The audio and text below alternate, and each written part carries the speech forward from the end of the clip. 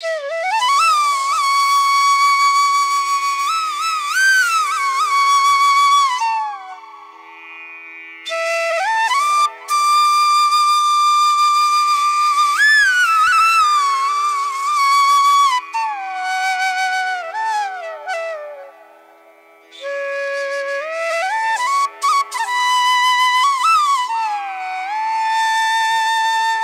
வணக்கம். Hi hello எல்லோரும் எப்படி இருக்கீங்க? என் பேர் காயத்ரி தேவி. இன்றைக்கி பார்த்துட்டிங்கன்னா தீபாவளி அன்னைக்கு நான் செஞ்ச லட்சுமி குபேர பூஜை தான் வந்து உங்களோட ஷேர் பண்ணிக்க போகிறேன் நிறைய பேர் வந்து வழிபாடு பண்ணியிருப்பீங்கன்னு நினைக்கிறேன். நான் வந்து இது வந்து த்ரீ இயர்ஸ் வந்து கம்ப்ளீட் பண்ணி ஃபோ ஃபோர்த் இயர் வந்து இந்த லட்சுமி குபேர பூஜை வந்து ஃபாலோ பண்ணிகிட்ருக்கேன் சரி நீங்கள் பண்ணுற பூஜையை வந்து முன்னாடியே டெமோ வீடியோ போட்டிங்கன்னா நான் வந்து அதே மாதிரி ஃபாலோ பண்ணிக்குவோம் அப்படின்னு சொல்லியிருந்தீங்க. எனக்கு டெமோ வீடியோ போடும்போது அந்த அதே அளவு பக்தியோடு செய்வேனா அப்படிங்கிறது வந்து எனக்கு தெரியாது. நிஜமாலுமே அவ்வளோதான் என்னோட திறமை. அதனால் வந்துட்டு தான் நான் எனக்கு அந்த இந்த அன்னைக்கு எனக்கு இப்படி பூஜை செய்கிறப்ப தான் அதே பக்தியோடு எனக்கு செய்கிற மாதிரி இருக்கும் அப்படிங்கிறனால தான் என்னால் டெமோ வீடியோ போடுறதில்ல.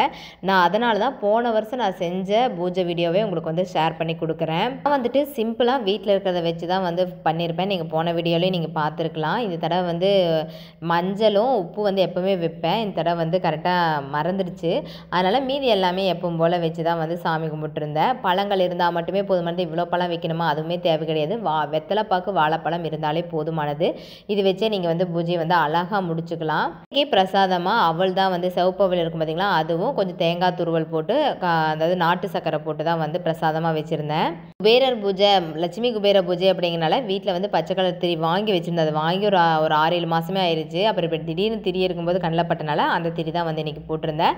கண்டிப்பாக இந்த மாதிரி பூஜை செய்யும்போது ஒரு விளக்காவது நெய் விளக்கு எது ரொம்பவே நல்லது அப்படிங்கிறனால நெய் விளக்கு வந்து ஒரு விளக்கு எதுனா மீதி ரெண்டு விளக்கு வந்து நல்லெண்ணெய் விளக்கு வந்து ஏற்றிருந்தேன் நிறைய பேர் நம்மக்கிட்ட கேட்குறது பூஜைக்கு வந்து எந்த எண்ணெய் பயன்படுத்துவீங்க அப்படின்ட்டு நான் வந்து சாப்பாட்டுக்கு எந்த நல்லெண்ணெய் வந்து வாங்கறனோ அதே நல்லெண்ணெய் தான் வந்துட்டு பூஜைக்கு நான் வந்து பயன்படுத்துவேன். பூஜைக்குன்னு சொல்லிட்டு தனி நல்லெண்ணெய் வாங்க மாட்டேன். நிறைய பேர் வந்து தீபம் விளக்கேற்றும் நல்லெண்ணெய் இல்லைன்னா பூ ஆஹ் விளக்கேற்றுறதுக்குன்னு தனியாக வந்து நல்லெண்ணெய் கேட்டோம்னா கொஞ்சம் கம்மி ரேட்டில் இருக்கும். அப்படிலாம் வாங்குவாங்க இல்லையா? நான் அதை வாங்க மாட்டேன். நான் என்ன சாப்பாட்டுக்கு பயன்படுத்துகிறனோ அதே தான் வந்து ரெண்டு பாட்டில் எக்ஸ்ட்ரா வந்து நான் பூஜைக்கு வந்து வாங்கிக்குவேன். இப்போ வந்துட்டு இந்த பஞ்சதீப ஆராதனைக்கு தனியாக திரி வாங்குவேன் பட் அது இல்லை அப்படிங்கிறனால சரி நம்மளே ரெடி பண்ணிடலாம் அப்படின்னு சொல்லிட்டு அதை தான் வந்து ரெடி பண்ணிக்கிட்டு இருக்கிறேன்.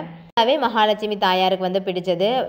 தாமரை தான் அப்படிங்கிறனால தாமரை வந்து வாங்கிட்டு வந்து வச்சுருந்தேன். ஆல்ரெடி ஒரு டூ டேஸ் முன்னாடியே. ஏன்னா இந்த அன்னைக்கு விலை ஜாஸ்தியாக இருக்கும். ஒரு வேளை வந்து தீபாவளி அன்னைக்கு மார்க்கெட் இல்லைன்னா என்ன பண்ணுறது அப்படிங்கிறனால முன்னாடியே வாங்கிட்டு வந்து ஸ்டோர் பண்ணி வச்சுருந்தேன். மகாலட்சுமி தாயாருக்கு மல்லிகைப்பூ அப்படிங்கிறது ரொம்பவே பிடிக்கும் அப்படிங்கிறனால அது இல்லாமல் மகாலட்சுமி தாயார் வந்து வாசனை நிறைந்த இடங்களில் தான் இருப்பாங்க அப்படிங்கிறனாலையும் மல்லிகைப்பூ அதுக்கப்புறம் இந்த மாதிரி நெய் விளக்கு தாமரை அவங்களுக்கு என்னெல்லாம் பிடித்தமானதோ உங்களால் என்ன முடியுமோ அதை வச்சு வந்து பூஜை செய்யுங்க. அப்புறம் மகாலட்சுமி தாயார் பெண் தெய்வம் அப்படிங்கிறனால எப்போவுமே வந்து பெண்கள் அப்படின்னாலே நம்ம ஜாக்கெட் பிட்டு வளையல் குங்குமம் இதெல்லாம் கொடுப்போம் இல்லையா? அதே மாதிரி தான் மகாலட்சுமி தாயாருக்கும் தனியாக ஒரு தட்டு வந்து வச்சுட்டேன். வைக்கும்போது எப்போவுமே ஒத்தப்படையில் வைக்கணும்னு சொல்லுவாங்க. உங்கள்கிட்ட எப்படி இருக்குதோ அப்படி வச்சுக்கலாம் ஒன்றே ஒன்று கூட வச்சுக்கலாம். இல்லை மூணு அஞ்சு அது மாதிரி வந்து நீங்கள் வச்சுக்கலாம். சாமி கும்பிடும்போது மெயினாக வைக்க வேண்டியது ஒன்று குலதெய்வ செம்பு இன்னொன்று வந்து பிள்ளையார். எந்த க என்ன சாமி கும்பிட்டீங்கனாலும் சரி இது ரெண்டு வந்து ரொம்ப கம்பல்சரி அதனால் இது ரெண்டை வந்து நீங்கள் எடுத்து வச்சுக்கோங்க. நான் வந்து இன்றைக்கி மஞ்சள் பிள்ளையார் தான் வந்து பிடிச்சு வச்சுருந்தேன். எல்லா பிள்ளையாரை விடவும் ரொம்ப மகிமையானவர் மஞ்சள் பிள்ளையார் அப்படிங்கிறனால எப்போவுமே வந்து நம்ம இதில் மஞ்சள் பிள்ளையார் தான் இருக்கும். அதுக்கப்புறமா லக்ஷ்மி கோலம் வந்து ரெடி பண்ணிக்கலாம். நிறைய பேர் வந்து எந்திரம் வந்து இதுலேயே வாங்கி வச்சுருப்பாங்க செம்பிலேயே வாங்கி வச்சுருப்பாங்க. நான் வந்துட்டு இந்த பலகையில் தான் வந்து நார்மலாக போட்டுக்குவேன். இல்லைனா வந்து ஒரு அட்டையில் வந்து போட்டு வச்சுருந்தேன் அது வந்து அழிஞ்சிருச்சு அப்படிங்கிறனால நான் வந்து இதில் போட்டுக்கிறேன். எப்போ தேவையோ அப்போ போட்டுக்குவேன். போன வருஷம் ஃபஸ்ட் டைம் செய்கிறப்போ கண்டினியூவாக ஒம்பது வாரம் வந்து செஞ்சுருந்தேன். இப்போ வந்து நம்ம வந்து பௌர்ணமி பௌர்ணமி செய்யலாம். இல்லை வெள்ளிக்கிழமை வெள்ளிக்கிழமை செய்யலாம். இல்லை இதுலேருந்து கண்டினியூ பண்ணி அப்படியே செய்யலாம். நான் வந்து தீபாவளி அன்றைக்கி செய்யலாங்க அப்படின்னா வர்ற பௌர்ணமி அன்றைக்கி செய்யலாம். நீங்கள் எப்படி வேணாலும் வந்து நீங்கள் செஞ்சுக்கலாம். மோஸ்ட் ஆஃப் வந்து வளர்பிறையில் ஆரம்பிக்கிறது ரொம்பவே நல்லது. இன்றைக்கி வந்து அந்த பலகையில் மஞ்சள் கலரில் வந்து பெட்டி போட்டுட்டு அதுக்குள்ளே வந்து குங்குமத்திலால வந்து நம்பர் வந்து எழுதியிருந்தேன். நம்பர் வந்து ஒரு ஓரமாக எழுதிக்கிட்டீங்க அப்படின்னு சொன்னால் பூவும் வந்து காயினும் வச்சுக்கலாம். மகாலட்சுமி தாயார் குபேரருக்கு வந்து அஞ்சு ரூபா காயின் ரொம்ப பிடிக்கும் அப்படின்னு சொல்கிறது நான் சொல்லுவாங்க. அப்படிங்கறனால நான் வந்துட்டு கோல்டன் கலர் அஞ்சு ரூபா காயின் வந்திருக்கு இல்லையா அதுதான் வந்து எடுத்து வச்சுருந்தேன். நீங்கள் வந்து கடையிலேருந்தோ வெளியிருந்தோ வாங்கிட்டு வரீங்க அப்படின்னா கொஞ்சமாக மஞ்சள் தண்ணியில் போட்டு கழுவிட்டு அதுக்கப்புறம் வந்து நீங்கள் சாமிக்கு வந்து பயன்படுத்திக்கோங்க. இந்த மாதிரி கோல்டன் காயின்ஸு நிறைய கோல்டன் பூ அது மாதிரி எல்லாம் வந்து வந்துட்டு மார்க்கெட்டில் நிறைய கிடைக்குது. பட் நான் அதெல்லாம் நான் எதுவும் வாங்கலை. நம்ம இருக்கிறத வச்சு செஞ்சுக்கலாம் அப்படிங்கிறதுனால தான் நிறைய பேர் வந்து மலர் மலர் அர்ச்சனை வந்து செய்வாங்க. இந்த தாமரை அர்ச்சனை வந்து செய்வாங்க. நம்மளுக்கு அவ்வளோ வந்து கிடைக்கல அப்படிங்கிறனால நான் எப்போவுமே பண்ணுறது வந்து ஒன்றா காயின் நிறைய நூற்றி எட்டு காயின் நான் வச்சிருந்தேன்னா ஒரே மாதிரி காயினாக இருக்கணும். ஒன் ருபீனா நூற்றி எட்டு ஒன் ருபீஸ் இருக்கணும்னு சொல்லுவாங்க. என்கிட்ட அப்போ இல்லை அப்படிங்கிறனால நான் வந்துட்டு குங்குமம் அர்ச்சனையே போதும் அப்படின்னு சொல்லிட்டு குங்குமம் அர்ச்சனை தான் வந்து மகாலட்சுமி தாயரை போட்டு நூற்றி எட்டு தடவை சொல்லி குங்குமம் அர்ச்சனை தான் வந்து பண்ணியிருந்தேன். அதை வந்து நம்ம ரெகுலராக யூஸ் பண்ணுறதுக்கு வந்து வச்சுக்கலாம்.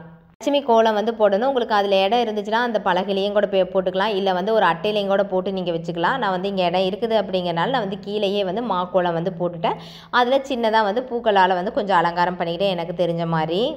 அதுக்கப்புறமா நீங்கள் குபேர பானை வச்சுருந்தீங்கன்னா குபேர பானையும் வந்து எடுத்து வச்சுக்கலாம். இது எல்லாமே ஆப்ஷனல் தான். நீங்கள் இதெல்லாமே கண்டிப்பாக இருக்கணுமாங்க்கா அப்படின்லாம் கிடையாது. இது எல்லாமே ஆப்ஷனல் தான். உங்கள்கிட்ட இருக்கிறத வச்சு இதில் என்ன இருக்குதோ அதை மட்டும் வச்சு பண்ணுங்க அவ்வளோதான் கம்பல்சரியாக இருக்கிறது நீங்கள் குலதெய்வ செம்பு வச்சுருந்தா வைக்கணும். மஞ்சள் பிள்ளையருக்கு ரொம்ப முக்கியம் வைக்கணும். சாமிக்கு வாசனையான பூக்களால் வந்து அலங்காரம் பண்ணணும் அவ்வளோதான் அதுக்கப்புறம் வந்து எங்கிட்ட வந்து இந்த அஷ்டலட்சுமி விளக்கு இருக்கிறனால இது பண்ணேன் இல்லைன்னா நீங்கள் காமாட்சி விளக்கு இல்லை கஜலட்சுமி விளக்கு எந்த விளக்கு வேணாலும் நீங்கள் வச்சுக்கலாம். சாமி கும்பிட்றது இவ்வளோ வச்சு சாமி கும்பிடணும் இப்படி தான் சாமி கும்பிடணும்னு எதுவுமே கிடையாதுங்க. எப்பவுமே வெத்தலை பாக்கு வாழைப்பழம் வச்சு சாமி கும்பிட்டாலே போதுமானது.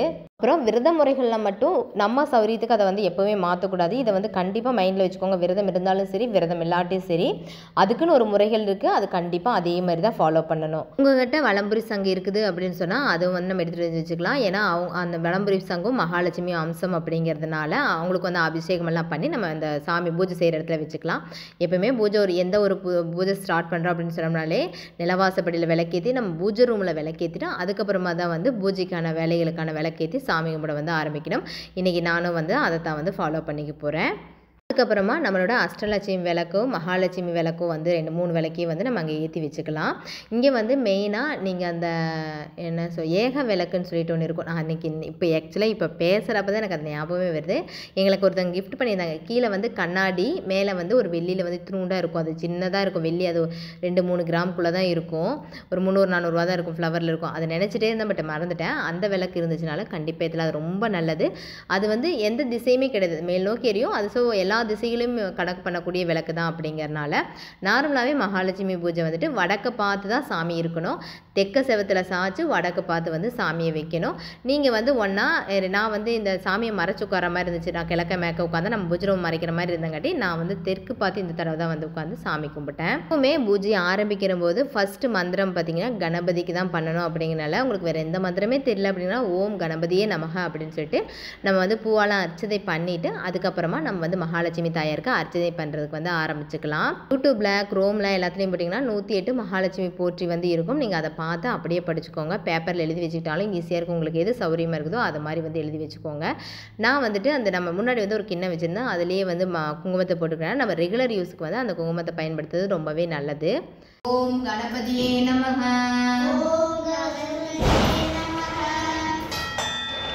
ஓம் அன்பு லட்சுமியே போற்றி. போற்றி